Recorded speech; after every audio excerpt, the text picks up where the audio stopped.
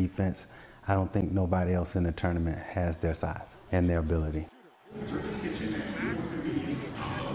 Newton's whole family is making the trip to Houston as we speak to watch UConn battle Miami tomorrow. It's a 6:50 first uh, uh, tip-off in Houston with the Final Four. We're back here at Southwest University Park, and one thing I want to point out: this is for Louis Zubia. He was a security guard at Southwest University Park for the last 10 years. Also, a 30-year member of the El Paso Fire Department. Passed away earlier this month. He was always manning uh, this dugout area at Southwest University Park. Got to know the players really well. We got to know him really well as, all, as well uh, because this is where we would film the games from. So, Louis, we're thinking about you. The base.